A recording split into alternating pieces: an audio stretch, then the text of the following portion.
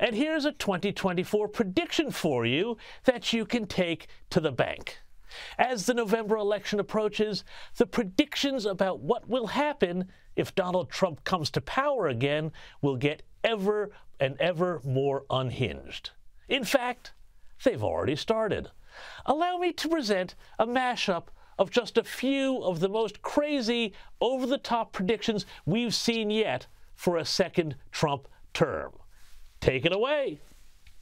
What would a second Donald Trump term look like? Well, he cannot be the next president. Um, it, it, because if he is, you can't imagine the things that he's going to do. Mexico, Canada. We can't go to Canada because eventually Canada will become annexed to America and shoot visitors to the White House. Yeah, that means he can shoot the first lady.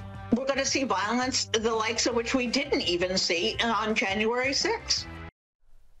You think that's bad? Huh, it gets so much worse illegal to run against him, to throw his opponents in jail, to shut down the media. He will make himself into the Fuhrer, and he will make everybody raise their hand and salute him. Using martial law against the American people. Terminate the Constitution. To rewrite the Constitution. Create mass internment camps. Throw everyone into Gitmo. Might be sent to jail or their rights might be suppressed, especially minority groups in society. You might have any number of things happen to you and your family. Every one of us our freedom, our liberty. None of us is safe.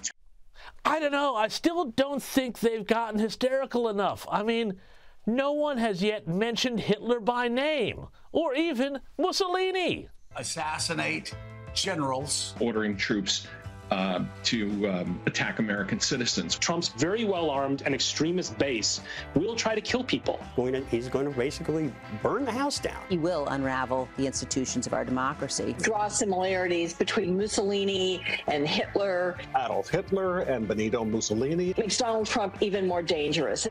Are you listening? Democracy is at stake the end of democracy. I think that could be the end of our democracy. But democracy is dead if Trump is reelected.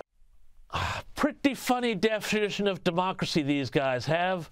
It only exists if you vote the way they tell you to.